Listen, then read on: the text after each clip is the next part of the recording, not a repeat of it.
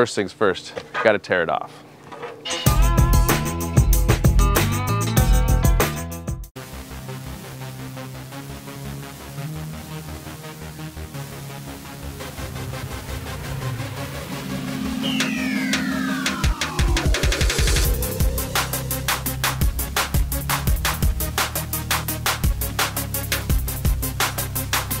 So we got most of this thing demoed. Gonna peel out the rest of the insulation.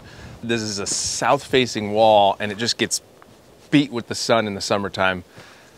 I mean, out here where we live, it can get up to 110 and above. This wall just let in so much heat. So what we're gonna try doing, actually, since we're doing this whole thing, we might as well take it a little further and fix some issues and see if we can't make it more efficient than it is now.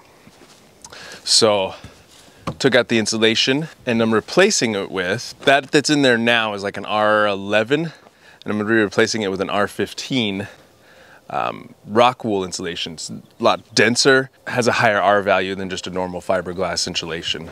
Since we're doing that, we are replacing the windows. The ones that were in their metal frame, aluminum frame, and they were leaking. The, the dual panes were not doing what they're supposed to do. The only tricky thing is with these modulars, they are very, the windows are very odd sized. So, for example, that window was uh, 46 and a half by 40. I'm not sure why. Typical window is gonna be usually in foot increments. Um, so I got to change some framing up on that. Another odd thing about this is it doesn't have any headers on this side. I don't work on modulars very much. So basically I'm just gonna take out that stud, extend that, I guess you would call it a header, and then extend the sill and put another stud on the side there because I need an inch and a half and that's what it'll give me. This window here is actually where our bathtub is, which at some point will be a shower. So I'm actually just gonna do a little uh, kind of, I guess you'd almost call it a bathroom window, not very tall and that'll be in the shower area and that'll give us more room for shower. Ran into some rot. So, gonna have to fix that. Then we can get to the fun stuff. Putting up the reflective plywood. Let's get back to it.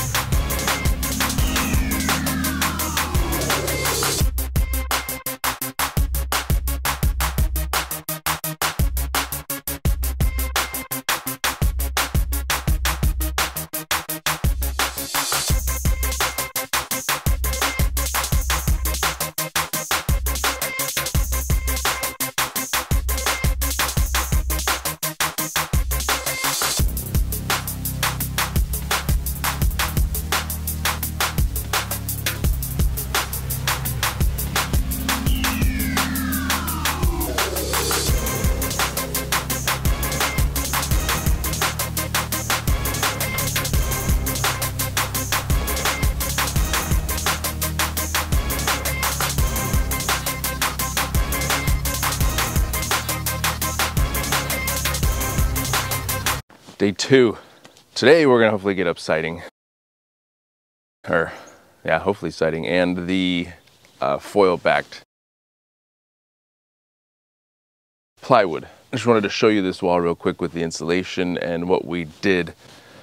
So let's check it out. This was getting a new vinyl window. Cut this old stud out, put a new stud here to get my 48 inches because this was 46. New sill. I did double up the header material and the seal material because this thing's built with matchsticks and it doesn't have much going on structurally. The nice part about the plywood is it'll give the building some shear because concrete doesn't necessarily have much shear value to it. It's really brittle. Deep bathroom, got rid of the big nasty, went with a little shower window, kind of a odd framing style, but there's no really structure on this side of the building, so got the rot replaced. First thing we're gonna do is paper the wall. We're kind of doing this a little different. We're going to vapor barrier, plywood, stickers, vapor barrier, and then concrete siding. Let's get started.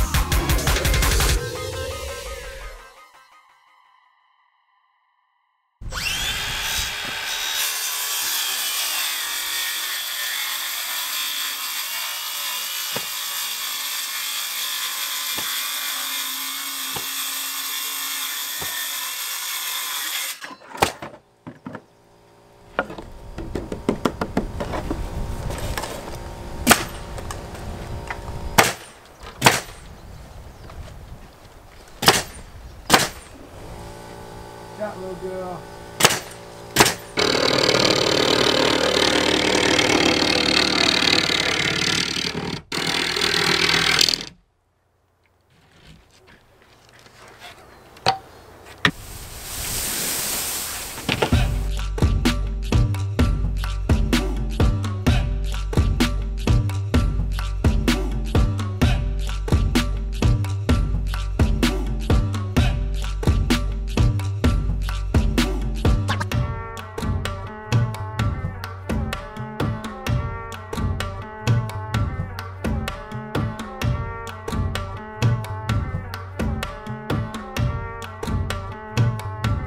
Storms are coming.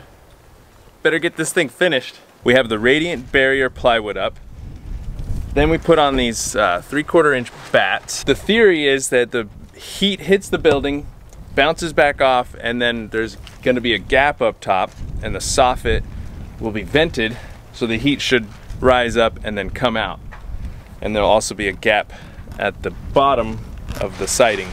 So it's pretty much there's airflow behind the siding that's why we papered behind the plywood.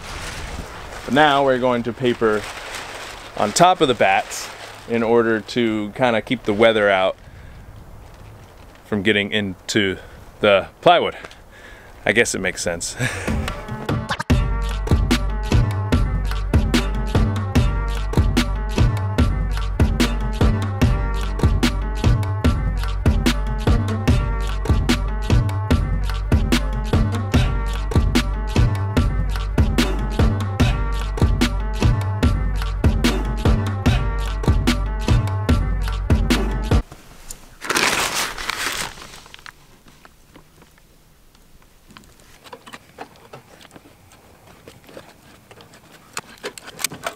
So the plan with this, because the air gap, it'll keep the bugs out.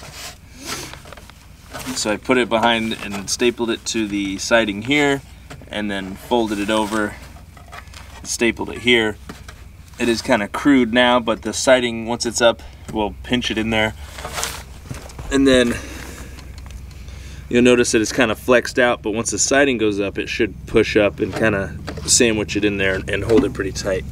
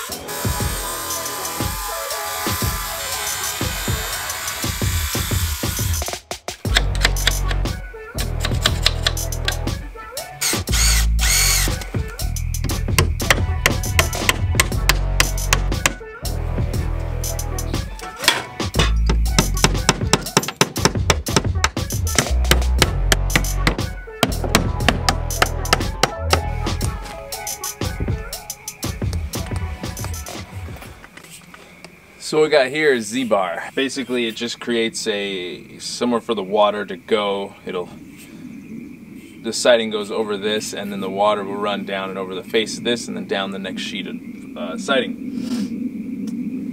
So let's go ahead and put this up.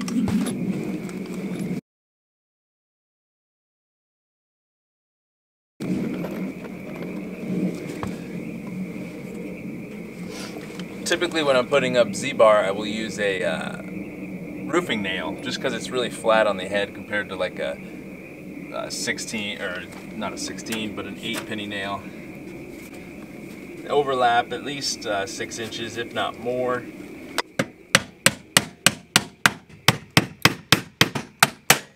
Well I think that's enough for today. I think another storm's coming. It's only taken me a week to get this thing done with all the rain so see you tomorrow